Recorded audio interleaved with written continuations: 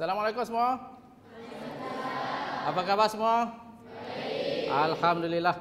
Ha, jadi hari ini kita akan sambung lagi pelajaran kita. Cuba lihat gambar di depan ni. Adakah anda tahu gambar apa? Ha, sudah tentulah tahu kan masjid kan? Okey. Jadi semua pernah pergi ke masjid. Jadi hari ini pelajaran kita berkaitan dengan masjid. Okey, ini tajuk kita hari ini memelihara kesucian masjid dan surau. Okey, sebelum kita mulakan pelajaran, saya ada satu soalan. Okey, siapa yang boleh jawab angkat tangan.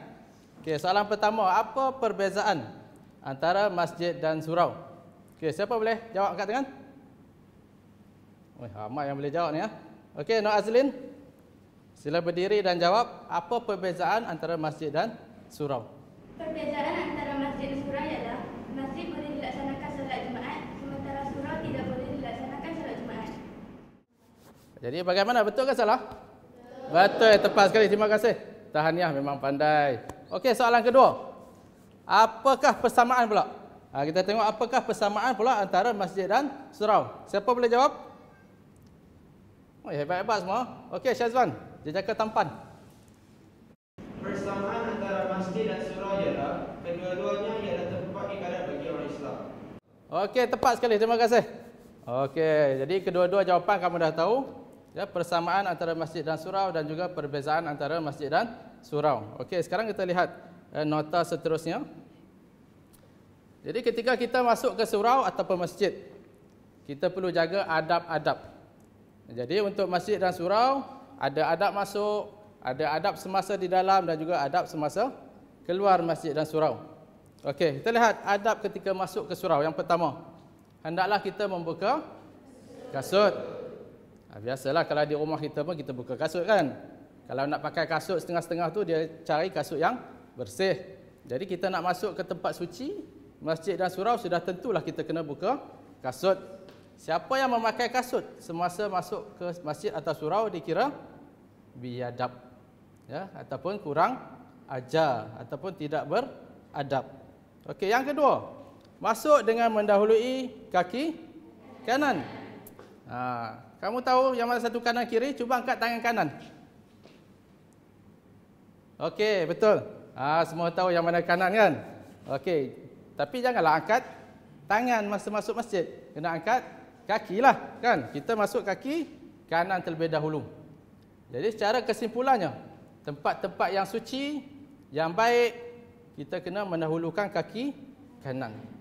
Selain daripada masjid, apa lagi tempat-tempat kita masuk perlu kaki kanan? Rumah lagi? Surau. Sekolah. Apa-apa saja yang baik. Okey. Dan seterusnya ialah membaca doa masuk ke masjid ataupun surau. Okey, siapa yang tahu doa masuk ke masjid? Amira. Okey, cuba jawab. Doa masuk masjid. Bismillahirrahmanirrahim. Allahumma ftah li rahmatik. Okey, tepat sekali. Terima kasih. Cuba sebut apa yang saya sebut. Allahumma ftah li abwaaba rahmatik.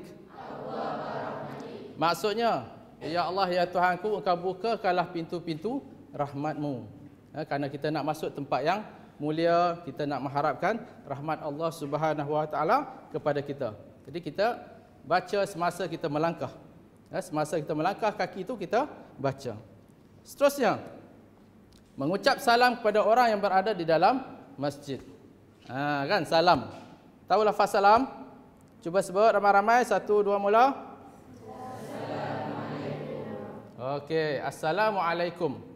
Walaupun dalam masjid itu tidak ada orang. Kan? Tidak ada orang pun kita bagi salam. Kenapa? Kerana ada penghuni di dalamnya. Kalau tidak ada orang, eh, malaikat-malaikat suka eh, duduk berada di dalam masjid. Jadi oleh kerana kita bagi salam, insya-Allah ada orang yang menjawab walaupun tidak ada orang. Okey, setakat ni. Boleh faham? Ada adab masuk masjid dan surau? Okey, bukan setakat faham saja kita insya-Allah kita amalkan. Okey, amalkan dalam kehidupan seharian. Okey, kita pergi kepada seterusnya. Sekarang kita dah berada di dalam masjid ataupun surau. Apa perlu kita buat? Yang pertama hendaklah kita menunaikan solat tahiyatul masjid. Solat apa? Okey, solat tahiyatul masjid. Tapi kalau di surau tak adalah istilah tahiyatul surau. Ya, dia hanya untuk masjid sahaja. Jadi apakah lafaz niat eh, semasa kita masuk ke ke surau ke masjid untuk menunaikan solat tahiyatul masjid? Siapa tahu? Niat solat tahiyatul masjid?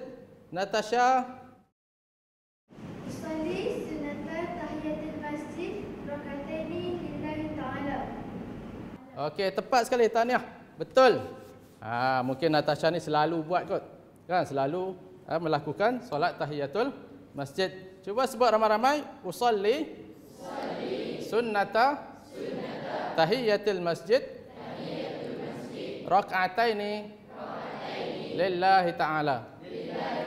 Sahaja aku solat. Sunat tahiyatul masjid. Dua rakaat kerana Allah Taala. Okey, semasa kita masuk sebelum kita duduk. Ha, jadi kalau kita dah masuk masjid, kita duduk tak sesuai lagi kita mengadakan solat tahiyatul masjid. Macam juga kita masuk dalam rumah. Katalah anda masuk ke rumah jiran. Kan? Masuk-masuk dalam terus makan makanan yang ada dalam rumah jiran, kan pergi tandas jiran, tiba-tiba baru bagi salam. Sesuai tak? Ha? Tak sesuai. Dia kena buat waktu bila? Waktu sebelum kita masuk. Bagi salam. Assalamualaikum. Tuan rumah ada tak? Baru kita masuk. Ha, dia macam tu juga. Tahiyatul masjid macam tu. Kita menghormati masjid. Ya, sebelum kita masuk ke dalam masjid. Sebelum kita duduk. Maafkan saya. Ha? Okey, yang kedua. Berniat iktikaf. Apakah yang dimaksudkan dengan iktikaf? Iktikaf itu ialah kita mengosongkan fikiran kita daripada hal-hal keduniaan. Maksudnya kita fokus hanya untuk ibadat, mengabdikan diri kepada Allah Subhanahu wa taala. Ha, jadi dia ada lafaz niat dia. Okey, siapa yang tahu lafaz niat i'tikaf? Cuba angkat tangan. Okey, Faris, cuba jawab.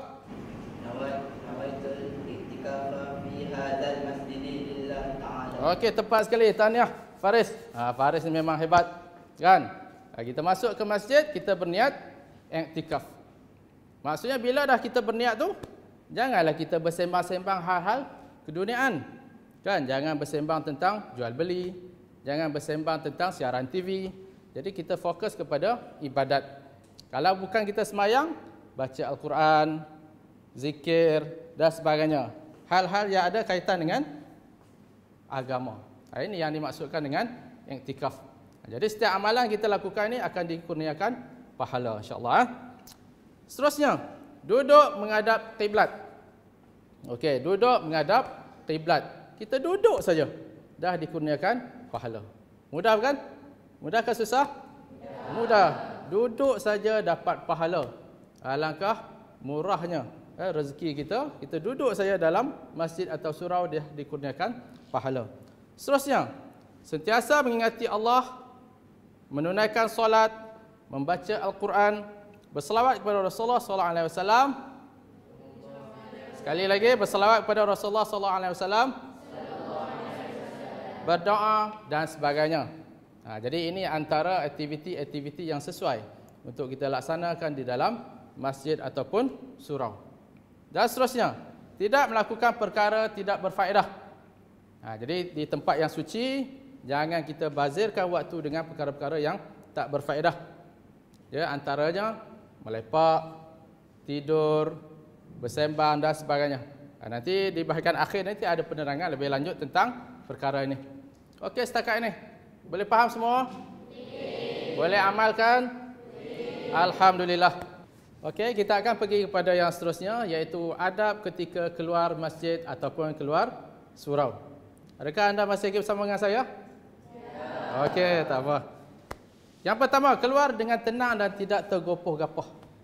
Ha, jadi selepas sembahyang, selepas memberi salam, sepatutnya jangan kita terburu-buru keluar. Kerana ada di kalangan orang Islam sendiri yang dia tidak membaca doa. Terus keluar. Mungkin dia ada urusan lain. Tetapi kalau kita nak mengikut adab yang betul, jangan kita tergopoh-gapah keluar. Eh, seharusnya dengan tenang.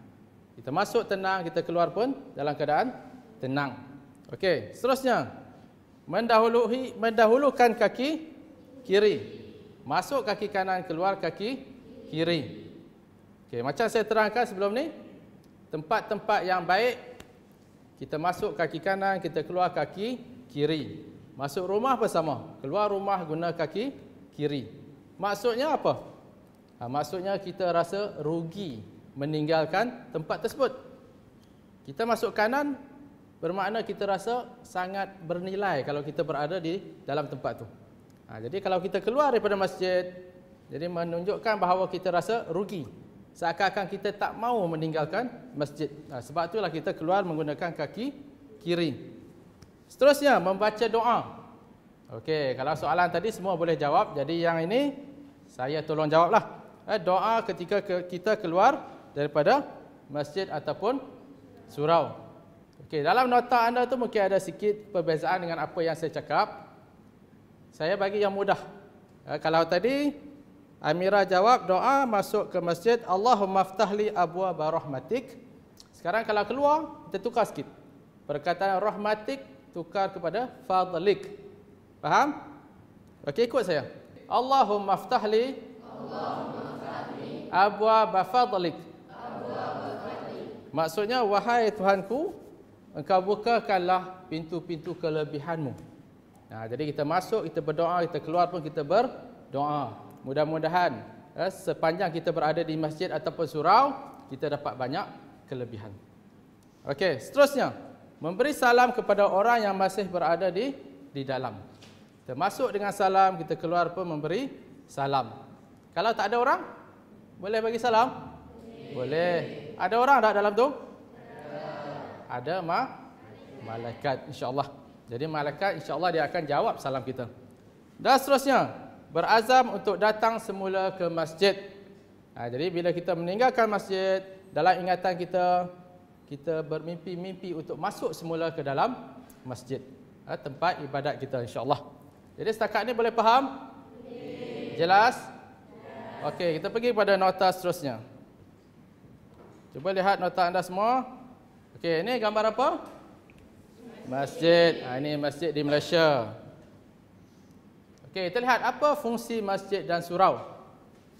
Yang pertama, sebagai institusi pendidikan dan perbincangan ekonomi. Ha, jadi masjid boleh kita jadikan tempat kita belajar, tempat kita berbincang tentang ekonomi.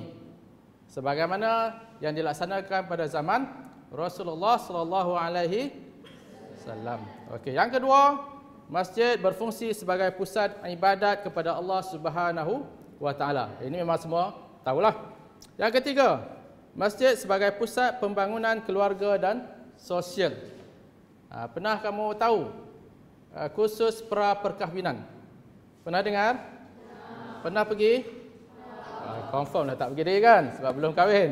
Ah, yang nak berkahwin saja dia akan pergi ke kursus pra perkahwinan. Kebiasaannya diadakan di masjid. Dan seterusnya, masjid berperanan sebagai pusat penyelidikan dan perbincangan ilmu. Ha, kita lihat ada mesyuarat-mesyuarat jawatan kuasa yang diadakan di di masjid. Seterusnya, masjid juga berperanan sebagai pusat interaksi umat, perhimpunan dan penyatuan. Jadi pada setiap hari Jumaat, orang Islam semua akan berkumpul Ha, jadi ini menunjukkan bahawa peranan masjid itu sangat baik untuk menyatukan umat Islam. Sekurang-kurangnya pada setiap hari Jumaat ataupun waktu lain ketika menunaikan sembahyang hari raya. Ha, itu tengok kan sampai melimpah-limpah. Seterusnya, masjid juga berperanan sebagai pusat persinggahan musafir. Ha, ada setengah-setengah masjid yang disediakan tempat penginapan bagi mereka yang bermusafir yang berjalan jauh, tidak ada tempat untuk tinggal, boleh ya, berhenti sebentar di masjid-masjid. Ya, masjid berperanan sebagai pusat persinggahan musafir. Dan seterusnya, masjid sebagai pusat kegiatan Islam, iaitu ceramah agama dan juga majlis ilmu. Ha, ini semua tahulah, kan di masjid-masjid setiap waktu ada kuliah-kuliah agama, ceramah-ceramah dan sebagainya. Setakat ini boleh faham? Jelas? Okey, kita pindah kepada yang seterusnya. Cuba lihat gambar. Ini antara aktiviti-aktiviti yang dijalankan di surau. Termasuklah di surau kita lah. Okay, yang di atas tu mungkin tazkirah. Pelajar-pelajar sedang ha, mendengar tazkirah. Pelajar perempuan. Dan juga yang sebelah bawah tu menunaikan solat. Okey. Ini masjid di luar negara.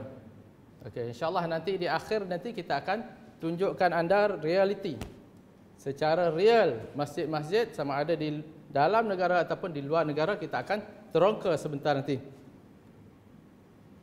Seterusnya, kelebihan menjaga adab di masjid dan di surau. Hukum menjaga adab hanyalah sunat. Istilah adab ni maksudnya tidak wajib, sunat. Tetapi kalau kita lakukan perkara-perkara yang sunat ni, perkara-perkara adab ni akan mendapat pahala. Jadi anda nak pahala ke tidak? InsyaAllah kita akan dapat pahala yang banyak kalau kita ikut setiap adab-adab yang digariskan. Yang pertama, Allah akan mengampunkan dosa orang yang membuang secebis kotoran dari masjid. Ha, jadi siapa yang masuk ke masjid, ke surau, kalau rajin, ambillah penyapu yang kecil itu, ha, sapu. Apa yang selalu ada di masjid surau? Taik, taik cicak, habuk-habuk, Ha, cuba buang, dapat pahala. Yang kedua, begitu juga orang yang membaca doa ketika masuk ke dalam masjid. Ha, kita dah belajar tadi. Ketiga, masjid bersih dan ceria menjadikan umat Islam menunaikan ibadat dengan selesa dan khusyuk. Ha, jadi kita sekarang berada dalam keadaan yang selesa kerana bersih. Jadi begitu juga dengan masjid dan surau. Kalau keadaannya bersih, selesa, kita boleh menunaikan ibadat dengan sempurna. Seterusnya, masjid yang dipenuhi majlis ilmu dan ibadat dirahmati Allah Subhanahu wa taala. Jadi kebiasaannya memang setiap waktu ada aktiviti yang dijalankan di masjid dan juga surau, kuliah, ceramah, tazkirah dan sebagainya. Seterusnya, amalan bermanfaat melahirkan suasana tenang dan harmoni dalam masjid.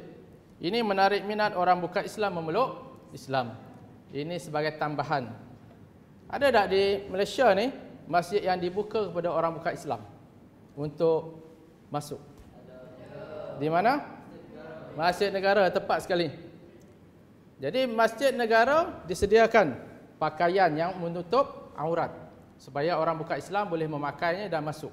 Melihat keindahan dalam masjid, melihat suasana yang aman damai di dalam masjid. Mudah-mudahan mereka akan ter tertarik untuk memeluk agama Islam. Seandainya masjid-masjid kita kotor, penuh dengan habuk, kotoran, nescaya mereka tak akan berminat dengan agama Islam. Setakat ini boleh faham? Boleh. Jelas? Okey. Okey, ini gambar apa? Mereka buat apa? Membaca Al-Quran. Agak-agaknya ketika bila? Bulan Ramadan. Nah, tepat sekali bulan Ramadan diadakan tadarus Al-Quran. Tetapi sebenarnya bila-bila masa pun kita boleh adakan aktiviti ini ya. Okey, seterusnya. Implikasi amalan negatif di masjid dan surau. Nah, ini adalah perkara-perkara yang perlu kita elakkan. Jauhkan. Jangan kita lakukan. Amalan negatif seperti tidak menjaga kebersihan. Ya, seandainya kita makan di dalam masjid, kita biarkan sampah-sampah itu bertaburan. Merokok.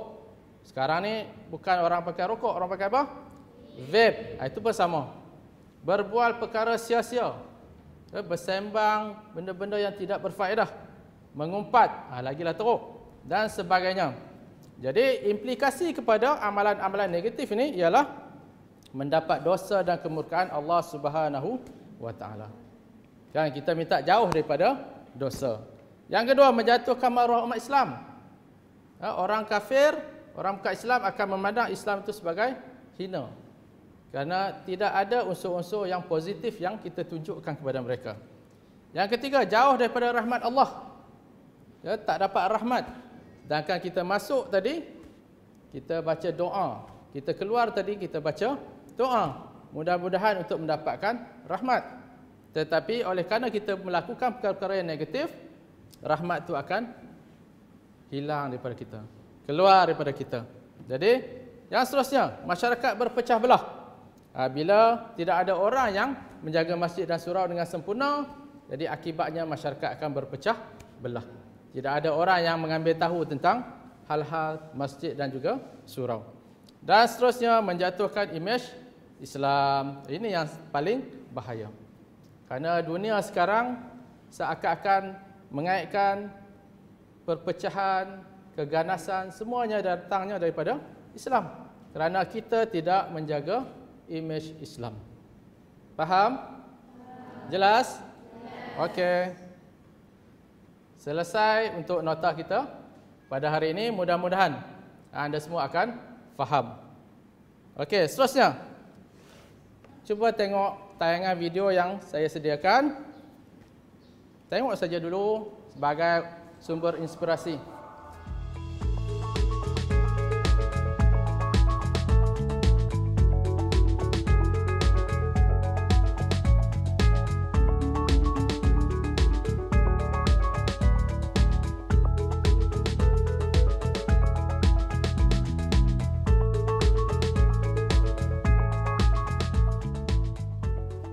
Okey, video ini ada kaitan dengan pelajaran kita hari ini tentang solat berjemaah di masjid. Jadi kamu turunkan ke bawah. Okey, itu soalan untuk anda. Baca soalan, fahami dengan baik. Ha, jadi saya akan kumpulkan jawapan-jawapan anda, kita nilai bersama.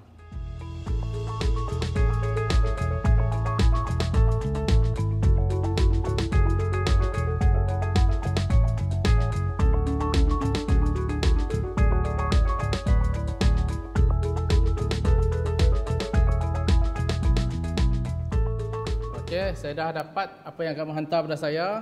Terima kasih kepada semua. Alhamdulillah berjaya. Okey, sekarang kita tengok jawapan-jawapan adakah tepat ataupun perlu diubah sesuai semula. Okey, kita lihat Muhammad Syazwan bin Sobri. Bagi isi, saya bersetuju. Pada masa kini terdapat banyak masjid yang besar tetapi bilangan jemaahnya semakin berkurangan. Ha, dapat dah satu markah untuk isi. Huraian, ini kerana mereka menganggapkan bahawa solat berjemaah hanya membuangkan masa kerana hendak pergi ke masjid. Ha, betul juga. Huraian kepada isi yang tadi. Okey, satu lagi markah. Huraian lanjut. Contohnya. Ha, ini bagus. Jawapan kita mula dengan perkataan contohnya. Jemaah lebih suka untuk solat berseorangan daripada solat berjemaah. Dapat dah tiga markah. Dan kesimpulannya, adalah penting bagi kita untuk solat berjemaah kerana pahalanya adalah 27 kali ganda berbanding dengan solat berseorangan. Di samping itu, ia boleh mengeratkan silaturahim sesama Islam. Sangat baik. Ha, jawapan macam ni kalau anda boleh buat, insyaAllah empat markah dalam tangan. Jadi jawapan-jawapan lain pun saya rasa semuanya okey. Okay, seterusnya kita akan beralih kepada meneroka masjid. Okey. Saya akan bawa anda melancung. Melancung di dalam negara dan juga di luar negara tanpa berbelanja. Ha, siapa nak? Kan? Ha, mari kita teroka masjid. Buka file yang saya hantar pada anda tu. Teroka masjid. Ada lima masjid yang saya uh, tetapkan di dalam tu. Anda klik dan juga anda boleh teroka di dalam masjid secara 360 darjah. Ke kanan, ke kiri, atas, bawah. Boleh ikut anak panah ya. Kita akan meneroka masjid-masjid yang ada di di dunia ini.